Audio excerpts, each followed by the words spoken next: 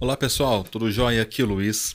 Nesse vídeo eu vou falar com vocês da versão 1.17.0 do NHN que acabou de sair na versão preview que traz novos nodes muito esperados ali, novos recursos importantes e algumas modificações que vocês têm que ficar atento aí para não quebrar o seu workflow. Antes de começar aqui, pessoal, deixa o like no vídeo Tá? Se inscreve no canal, comenta o que, que você achou aí dos novos nodes, dos novos recursos, das mudanças, tá? E se você encontrar algum problema no NetChain, pessoal, comenta aqui no vídeo que eu posso ajudar você a abrir lá uma issue no GitHub para sugerir ali uma correção para eles, tá? Então acompanhe aqui o vídeo até o final para ficar por dentro de tudo que acontece no NetChain, pessoal, e compartilhe o link com seus colegas aí, com, nos grupos que você participa, para que todo mundo possa ficar por dentro das novidades do NetChain. Bora pro vídeo. Pessoal, começar aqui então pelas é, correções. Lembrando, pessoal, que o NHN ele mistura o que ele corrigiu do que ele modificou. São duas coisas diferentes, tá, gente? Correção é algum problema, é algo que estava falhando. Modificação pode até ser algo que estava rodando muito bem, só que eles mudaram o comportamento.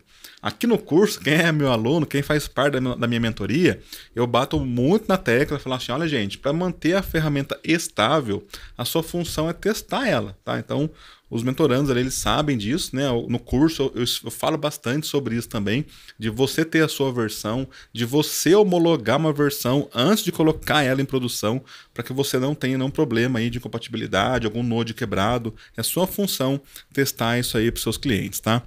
E aqui, pessoal, então, é, são vários bug fixes, tá? Vou passar com vocês aqui pelos mais importantes. O primeiro aqui, pessoal, agora ele vai começar a tentar adivinhar que tipo de mime que é ali do Node Binary, tá? Então vai ajudar bastante vocês, vai tornar ele um pouco mais compatível ali e vai eliminar alguns bugzinhos que tinha. Né? Quem trabalha com binário sabe que tem hora que ele simplesmente não funciona, né? Ele para, trava mesmo.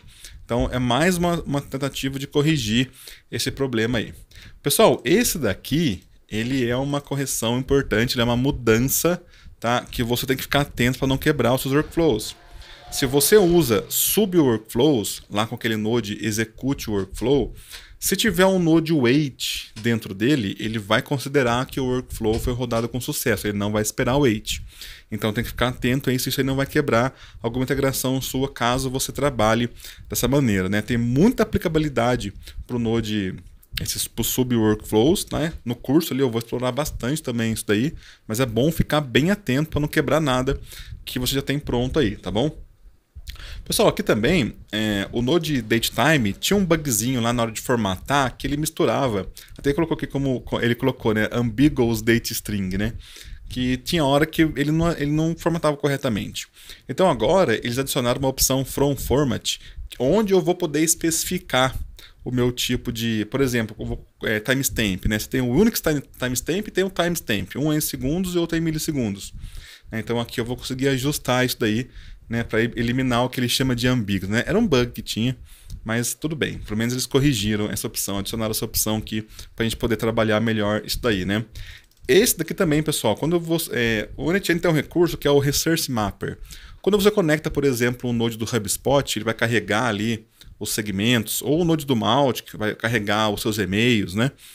Tudo que você for carregar ali, aquilo ali chama um Resource Mapper. Então ele vinha truncado, ele não exibia tudo, né? Então agora vai, vai passar a exibir tudo aqui também, tá? Então, uma mudança importante. Era um bug que já acompanha muitas versões, há muito tempo mesmo. Só agora eles corrigiram, mas aqui no interior a gente fala, né? Antes tarde que mais tarde, né? Então, pelo menos foi corrigido, tá bom? É, o Google Sheets também tem umas mudanças aqui, tá? Uma correção quando ele vai poder. É, uma quantidade de uma linha. Quando você vai inserir muitas linhas, ele dava um bug, eles corrigiram também isso daí. E aqui, pessoal, no Node HubSpot também, quando você usava expressão para poder incluir algum item ali, ele, ele não completava mais os campos, ele corrigiu isso daí. E aqui também vem uma pequena mudança, né? Que eles vão atualizar o, agora você pode atualizar o owner de uma deal no HubSpot. Né? Eu sou suspeito de falar, eu uso o HubSpot diariamente, é o meu CRM oficial aqui na PowerTick e na PromovoWeb.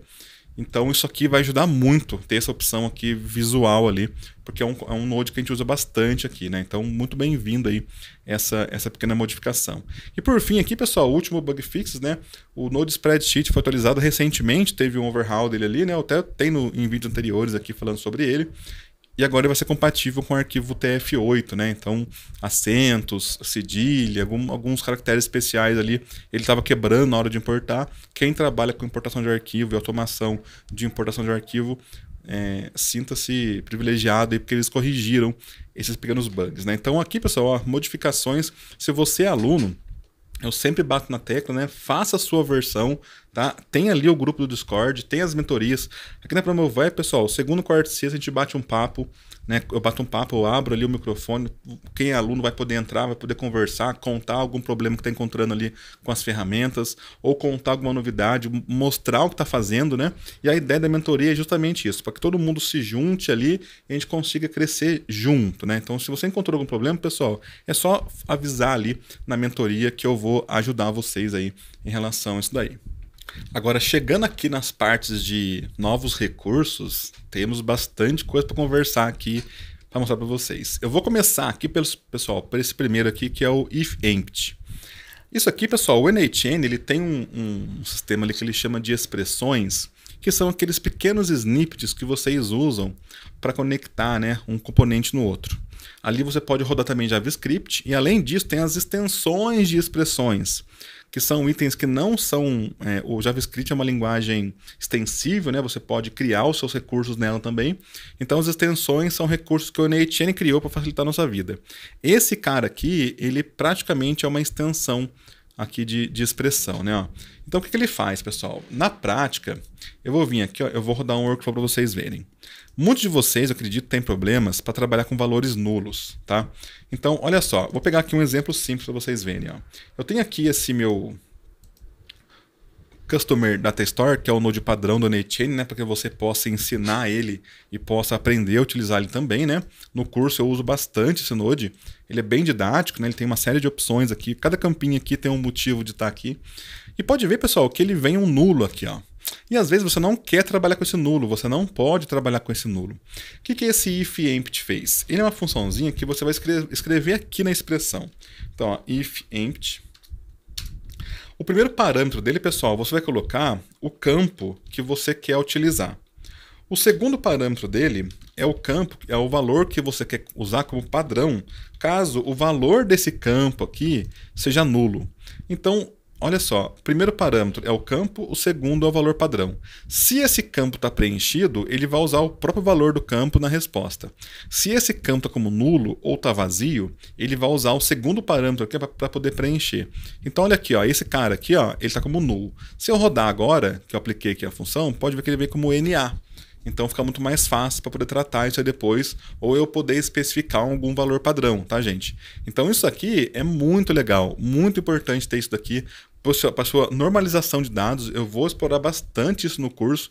E para quem vai armazenar em banco, né? quem, vai armazenar no Mongo, no Postgre, por exemplo, é importante também ter esse tratamento de nulos aqui. Às vezes você não quer o nulo. Pode até ser que a informação venha nula, mas você vai de algum for alguma forma trabalhar ela, definir um valor zero, definir um valor negativo, colocar algum, algum padrão ali, algum texto padrão ali. Então, muito bem-vindo esse recurso aqui. Ó. É um recurso simples, é, mas para quem é do no-code, isso aqui vai ser fundamental para ter mais é, é, um NetN mais confiável ali, tá bom? Pessoal, é, algumas semanas, uma semana atrás, eu abri uma issue no GitHub aqui do NHN reclamando para eles que o Node Datetime não estava passando para frente o input que eu colocava nele. Né? Eu não uso muito o Node Datetime, eu uso mais o Node Code para poder fazer isso daqui. Aqui na Promovai vai ter um curso, um módulo do curso só para trabalhar com data tá? Porque eu sei que muitos de vocês fazem esse tipo de processamento aí e tem muitos problemas para trabalhar com data, então eu vou ter um módulo especial ali no nosso curso só de, de Node Data e hora, o Node Datetime e também pelo Node Code. Você tem muito mais recursos para trabalhar ali com o Node Code. Aí eu fui usar aqui numa consultoria, estava fazendo uma consultoria, eu fui usar o Node, o Node Datetime e me deparei com isso daqui. Tive que fazer uma gambiarra ali com o Node Merge e tudo, mas eu fiquei incomodado, falei assim, ó, vou lá reclamar eu vim aqui e contei meu caso, né? Eu fui prontamente respondido, pessoal, e ó, eu abri isso aqui agora semana passada e já foi corrigido, já está pronto nossa versão aqui. Uma opçãozinha bem interessante aqui, pessoal. Por exemplo, ó, se eu venho aqui, deixa eu mostrar para vocês. É, se eu rodar aqui o meu workflow, pode ver, pessoal, que eu, eu fiz aqui um cálculo simples de data, mas ele não pegou esse input aqui e jogou para cá, né?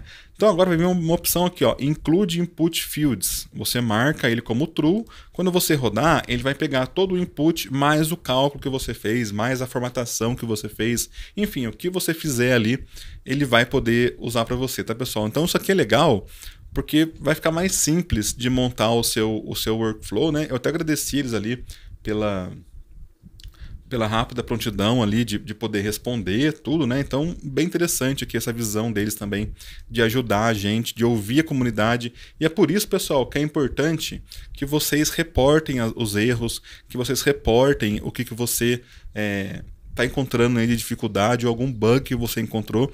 Se você não sabe fazer isso, comenta aqui no vídeo que eu ajudo você a poder abrir essa issue lá para poder crescer aqui a ferramenta. Né? Então, um recurso muito bem-vindo aí. Eu sei que todos vocês que trabalham aí com o Node Datetime vão gostar muito de poder utilizar esse recurso aqui. Né? Então, muito bem-vindo aí essa novidade para gente aqui. Pessoal, o Node Discord ele recebeu muitas mudanças também agora, né? Então, antigamente o Node Discord ele só enviava mensagem para um canal, né? Ele tinha ali um webhook simples que ele fazia. Agora você pode mexer em membros, canais né, e nas mensagens, né? Então você pode vir aqui listar os membros, você pode adicionar um cargo, remover um cargo de um membro, você pode pesquisar um membro específico. Então, basicamente, eles mapearam boa parte da API do Discord e para quem tem o Discord, isso aqui é fantástico, pessoal. Isso aqui é tão importante que no Zapier ele é um recurso plus. Você tem que pagar caro no Zapier para poder ter esse recurso aqui de gestão de, de Discord, né? Porque você consegue eliminar praticamente um bot. Você pode montar um bot do Discord inteirinho aqui no seu NHN, né? Fica muito legal isso daqui, pessoal. Além disso, você pode criar automações também para os seus grupos do Discord, né? Tá cada vez mais sendo aceito o Discord no mundo corporativo. Na, na, como área de membros, então, praticamente todo mundo está utilizando aí o Discord, né? O WhatsApp é, meio, é muito ruinzinho, né? O Telegram tem muitas limitações. O Discord é maravilhoso pra gente poder organizar ali. A comunidade da Promovo Web é no Discord, tá todo mundo gostando de utilizar ali. A gente faz nossas lives ali, a gente publica link, a gente bate papo, tem um fórum também lá para tirar dúvida, né? É onde eu faço ali a mentoria, né? Então, bem legal, é um item há muito tempo esperado aí e que ainda bem que chegou aqui no NHN, né? Além disso, pessoal, outro que merece uma nota aí é o nosso Stick Notes, né? Ele ganhou cor agora, então quando você for adicionar um Stick Note aqui, ó, você pode vir aqui e escolher uma cor para ele. Isso aqui é importantíssimo, pessoal, para você poder documentar o seu workflow. Né? Aqui no módulo, aqui no curso, eu vou bater bastante nessa, nessa tecla também, que vocês têm que documentar o que vocês fazem para organizar. Tá? E por fim, pessoal, o Node do OpenAI ganhou suporte aqui para o DAO E3. Tá? Então vou fazer um prompt simples para vocês verem aqui. Esse DAO E3, pessoal, o resultado é maravilhoso. O DAO E2 tinha lá os seus bugzinhos, né? Nem sempre, ele não tinha uma resolução muito alta, mas esse 3 os caras estão de parabéns, olha lá. Pedi para ele fazer um astronauta tomando cerveja. Pessoal, maravilhoso, muito legal mesmo. Eu, eu tô encantado aqui em utilizar ele. Eu estou usando bastante essa questão aqui de gerar imagem por ele, né? Então, o próprio Node do OpenAI já está com suporte para o DAO E3. Espero que vocês façam muito bom uso dele, porque é um recurso realmente fantástico. Além disso, pessoal, o nosso querido Rabbit MQ também ganhou uma opçãozinha ali, tá? Eu vou explorar um pouco mais ela para poder já colocá-la no curso que vai começar na, agora nessa semana, né? Do nosso, no, nosso novo curso do, do NHN, que vai ter o RabbitMQ como base ali da fila dos workflows, né? Então você vai poder utilizar uma exchange routing keys para poder obter mensagens da fila, né? Isso aqui vai ficar muito, tá muito azeitadinho, tá muito legal mesmo esse recurso aqui, pessoal. O Telegram ganhou suporte para o Markdown 2, muito bom também esse suporte ao Markdown 2 Telegram. Para quem usa o Telegram como sistema de notificação, né? Eu vou falar um pouco sobre isso também no curso, mais para o final do curso, né? Para vocês poderem criar aí o seu sistema de monitoramento do NHN. Tá? E no geral, pessoal, foram mudanças muito bem-vindas, tá? Poucas mudanças, vamos dizer assim, né? É, dois nodes novos só, dois novos nodes, mas eu achei bem interessante essa opção aqui, né? De você poder ajustar o date time ali, essa opção, aquele bug que tinha, agora a opção de você poder incluir os, os inputs no output e esse novo node, praticamente novo node, né, do Discord, que vai ajudar muito mesmo. E essa função nova do if empty, que eu tenho certeza que vai ajudar muito a galera aí do no code. Pessoal, muito obrigado por assistir o vídeo aí. Deixa o like no vídeo, pessoal, se você gostou. Se inscreve no nosso canal. Eu vou deixar para vocês também aqui o link da landing page da nossa mentoria. Tá? Se você não puder fazer ao vivo, não tem problema, vai ser gravado. Você vai poder assistir depois a gravação inteira, tá? Fica tranquilo, tá? Mas vai ser um curso que vai mudar a sua carreira. Vai mudar a maneira como você usa o NHN, como que você enxerga o NHN e como que você entrega serviços de NHN para terceiros, tá? É um curso para o profissional do NHN. Eu tenho certeza que vai mudar muito a maneira como você enxerga e usa essa ferramenta. Então é só acessar aqui a landing page. Se você já é aluno da Promovai, você já sabe, com uma única assinatura você faz tudo. Então qualquer curso que tem na Promovai você pode assistir. Qualquer novo curso que vai vir na Promovai você também vai poder assistir durante a sua assinatura, tá? Então fica tranquilo. Se você está tá em prestes a poder renovar, já renova, tem desconto na renovação, tá? Então aproveita, pessoal para você poder fazer aí uh, esse novo treinamento da NHN reescrito, feito do zero, que eu tenho certeza que vai mudar muito o modo como que você enxerga a ferramenta. Um abraço, pessoal!